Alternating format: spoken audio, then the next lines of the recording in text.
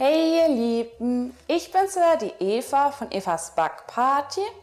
Und mir ist letztens aufgefallen, dass ich euch noch gar keinen Fanta-Kuchen auf meinem Kanal gezeigt habe, obwohl es einer meiner Lieblingskuchen ist. Ja, und da jetzt momentan Erdbeerzeit ist, zeige ich euch heute nicht die ganz klassische Variante, sondern so eine abgewandelte Erdbeertorten-Fanta-Kuchen-Variante. Ich überlege mir noch, wie ich das genau nenne. Aber der Kuchen ist richtig lecker, denn wir haben diesen saftigen Fanta-Kuchen, dann unsere frischen Erdbeeren und obendrauf diese ganz typische Schmandcreme und wer mag, kann obendrauf noch Zimtzucker geben. Aber natürlich könnt ihr auch eine ganz klassische Variante daraus machen.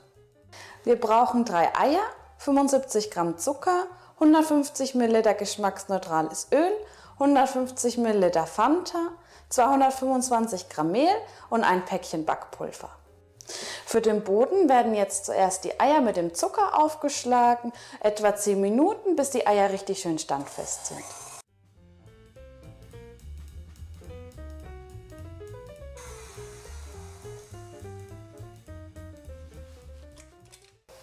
Sobald die Eier richtig schön hellgelb sind und deutlich an Volumen zugenommen haben, können wir noch unsere Flüssigkeiten hinzugeben und die werden einfach nur kurz untergerührt.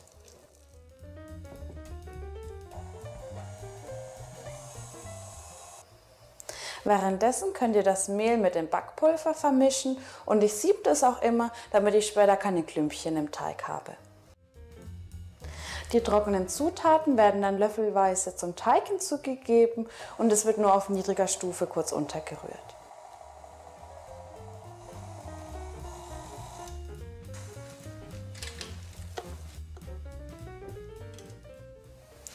Sobald sich alle Zutaten zu einem glatten Teig verbunden haben, können wir unseren Teig in unsere Form füllen und ich verwende hier einen 24 cm Tortenring. Ihr könnt aber genauso gut auch eine Springform verwenden.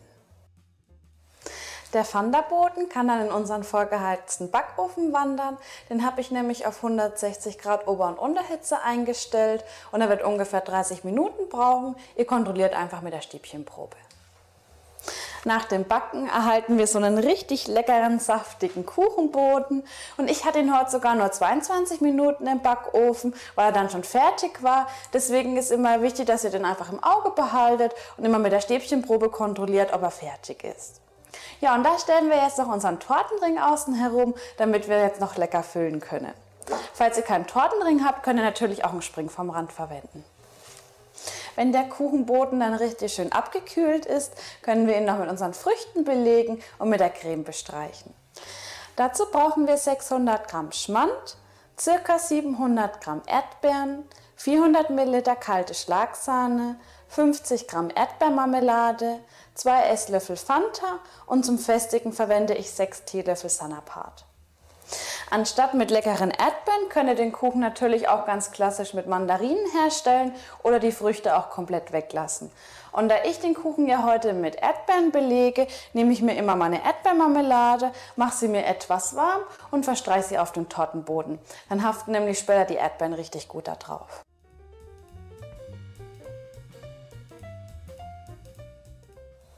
Damit wir den Kuchenboden jetzt noch mit unseren Erdbeeren belegen können, habe ich sie jetzt schon gewaschen und werde sie jetzt noch putzen.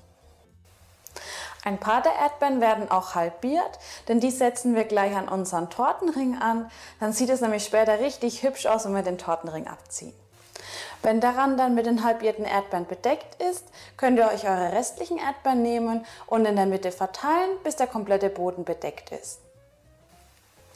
Am besten sucht ihr euch die Erdbeeren heraus, die ungefähr die gleiche Größe haben, dann habt ihr nämlich später ein schöneres Ergebnis. Den Kuchenboden stelle ich jetzt noch mal kurz in den Kühlschrank, weil wir jetzt erst noch die Creme vorbereiten. Für die Creme verrühren wir zuerst den Schmand mit dem Fanta und wenn es dann richtig schön cremig ist, können wir unsere Sahne hinzugeben. Die Sahne-Schmandmasse wird dann so lange aufgeschlagen, bis sie anfängt einzudicken und danach können wir das Sanapat hinzufügen. Anstatt Sanapat könnt ihr selbstverständlich auch ein anderes Geliermittel verwenden. Da müsst ihr einfach auf der Packungsrückseite nachgucken, wie ihr das zubereiten müsst. Sobald die Creme eine schöne feste Konsistenz hat, könnt ihr die Küchenmaschine ausstellen. Natürlich müsst ihr die Creme nicht mit einer Küchenmaschine zubereiten, da langt natürlich auch ein Handrührgerät. Ich stelle die Creme immer ohne Zucker her. Falls ihr lieber die Süßen seid, könnt ihr natürlich auch noch etwas Puderzucker unterrühren, aber ich finde, der Kuchen ist so süß genug.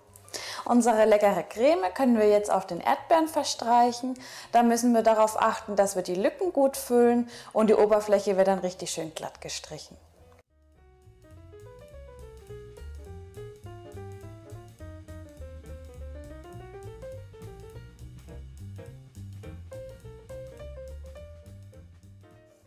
Bevor wir den Kuchen servieren, stellen wir ihn jetzt erstmal für eine Stunde in den Kühlschrank, damit er richtig gut durchgekühlt ist.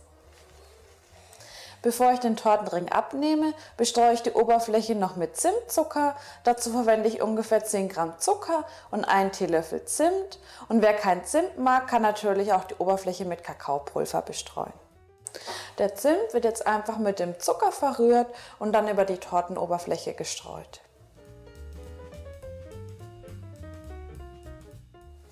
Nachdem die Oberfläche mit unserem leckeren Zimtzucker bedeckt ist, können wir dann noch den Tortenring abnehmen.